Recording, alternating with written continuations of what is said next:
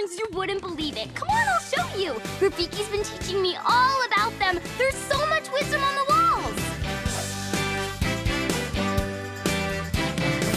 Every painting has a meaning, stories to be told. So much knowledge